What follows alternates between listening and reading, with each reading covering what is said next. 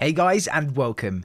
In today's video, I wanted to discuss something a little bit different to what we usually go into on the channel and it's not necessarily around the future of Halo Infinite but it's actually around what I believe would make Halo Infinite a much better game right now and it's comparing it to the likes of Destiny and the way that they do their DLC, they do their armor, maps and things along those lines and I think Halo Infinite suits that method extremely well. Now, before you comment everything down below saying that Destiny is awful or whatever it might be hating on the game, just hear me out in this video. I can guarantee you'll think that some of these are good ideas and you'll agree with me that some of these features would fit Halo so, so well. But guys, make sure you leave a comment down below what you generally think of Halo Infinite at the moment, ways you think you could, it could be improved, and are you still playing it right now? Leave a like as well, be much appreciated, and let's get into it.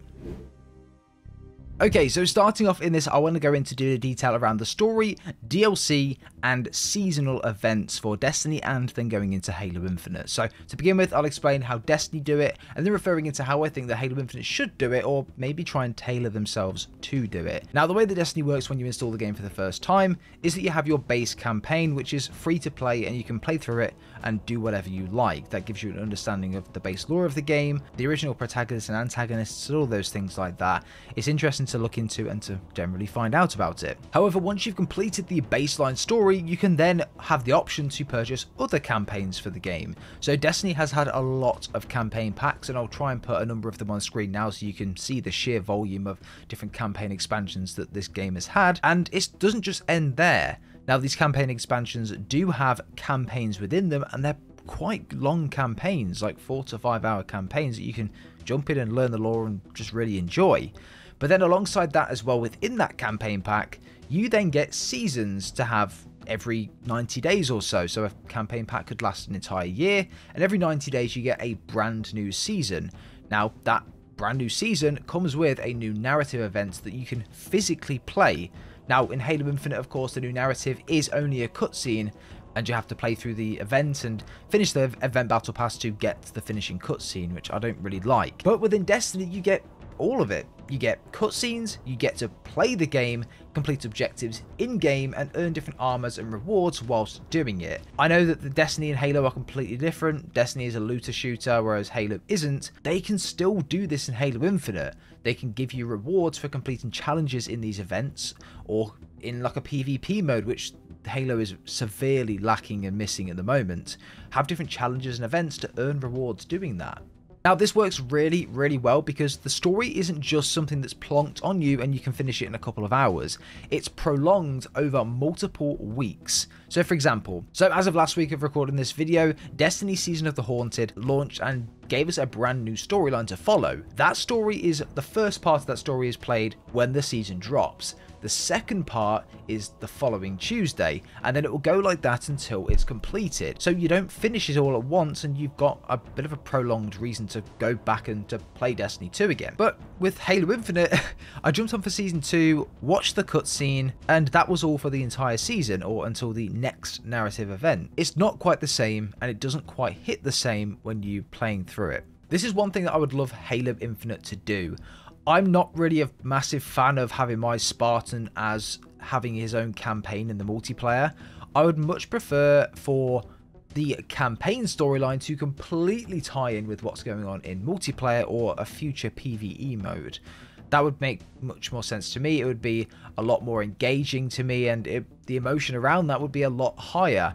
I don't really care that much about my Spartan story because my Spartan story is just me playing through the game. It shouldn't really be tied into a multiplayer narrative in my opinion anyway. But let me know your thoughts and opinions down below. I'd be interested to know what you guys think about that. Like even if it's fighting alongside the chief or something in a PvE mode, fighting against the banished or taking back some form of uh, compound or whatnot it might be, and then doing missions like that and having the opportunity to jump into a big lobby with loads of people and just PvE things.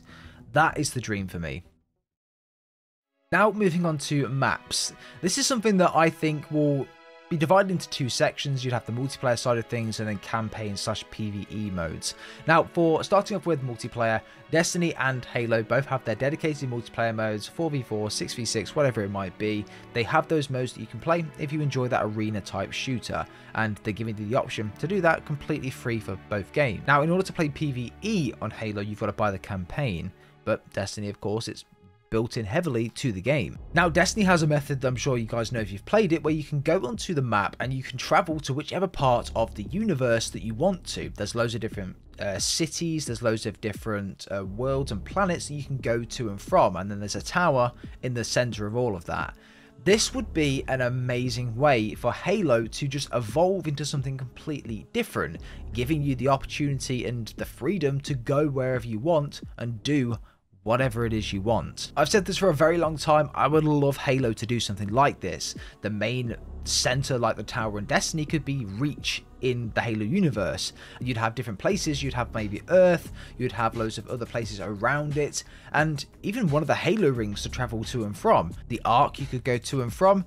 Different places like this that has people or well-known characters on that you can go and do a task or a mission or a quest for. Like, imagine being able to go to the world of Sanghelios and teaming up and doing a quest with the Arbiter just because you want to, or because there's a new task for that week to go to Sanghelios and do that task. Or you could go to Reach and you could do some different bits with Dr. Halsey. You could go to a lab and do different bits or you could go back to Earth and you could help different UNSC leaders or whoever it might be to complete tasks, wipe out an area, take back an area from the banished, stuff like this. I think the game would really benefit from that. I think the replay value would be absolutely massive and it would just increase the visibility of a PvE mode. I can only dream that that's the case and that we that would get something like that in the future. That would be a dream come true for me. But let me know your thoughts and opinions down below. However, if that wasn't possible to do that, I, I, it's pretty very far-fetched to say that that is the case. An evolving Zeta Halo would cut it for me really, really nicely. So having a Zeta Halo ring that evolves over time, having things like live events that you can jump into, actual PvE on the map, which means something. So if there's an event coming in, for example, there could just be a mysterious ship that appears out of nowhere. No one really knows why or what, but then the next event that happens, that's when we hear more. You could have things like a scarab just coming and patrolling the map for no reason at all, random things moving, things appearing out of nowhere, parts of the ring being rebuilt. Stuff like this would be an absolute game changer for me. It would make me want to go back onto Zeta Halo and explore and see if anything has changed, and if so, maybe do a video and theorize about it. Stuff like that would be amazing. And to be honest, that really would take Halo Infinite to the next level. I do think they're going to be doing that. I think they're going to be evolving their Zeta Halo for future campaign DLC. We'll have to wait and see. And now finally touching up on armor and progression. To be honest, with progression wise, Destiny and Halo are not that different as it stands. Destiny doesn't necessarily have, other than your light level, a ranking system as such. Your light level is something that gives you additional power, which you can go into do the high power level tasks or missions or whatever it might be. However, the main level comes from your battle pass in Destiny, and that's exactly the same with Halo Infinite, and no one really cares that much about it in Destiny. And the reason for that is because of the light level. You can increase your light level, and that's how you become more powerful, and that is what people strive to increase. Halo Infinite doesn't have anything other than the Battle Pass, so that's obviously where the issues are there. But progression system wise, if Halo just has something that uh, you can see that you're progressing, it doesn't even have to be complex or difficult in that sense. As long as you can physically see that you are progressing in that game, people will play it a lot more and enjoy it a lot more. And the same with armor as well. I like to have the incentive to unlock cool things. If there's a task which is extremely difficult to do, but I've done the challenge and I've got the armor, I'll feel a sense of accomplishment. And people around me are going to look at me and think, damn, that armor's pretty cool. Let's go and find out how to get it. And they're also going to try and go and do it as well. Stuff like this is why I love the, the Halo Reach ranking system with the weekly challenges, the daily challenges, giving me the credits to be able to go buy these different bits of armor. Obviously, as I mentioned at the beginning, Destiny is a looter shooter, so you will get uh, different loot and armors just by going around the map really and doing these quests and challenges and completing the missions. So just works slightly different from Halo there, but nevertheless, it's still really, really good the way that they implement and give new things on a regular basis as well. And the talent at Bungie is really good. Just imagine if Bungie was still in charge of Halo. Would they have gone the route of Destiny?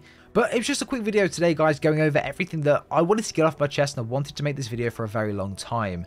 I wanted to discuss the points it out there that this is this is how I want to see Halo going forward. Now, Halo has obviously got a better story than Destiny, in my opinion. It's also just a better overall game in the way it feels and the way it plays. But the way that Destiny do things, I can't help but play it and think, wow, this would really be amazing if Halo adopted this sort of setting or structure and implemented that into their game. But guys, let me know your thoughts opinions down below in the comments. We're very interested to know. Subscribe to the channel if you want to see more content like this one. We'll be trying to put as much content as possible out. Uh, when new games come out this year as well, we'll be branching out, so that'll be exciting. Leave a like, guys, down below. We'll see you all in the next one.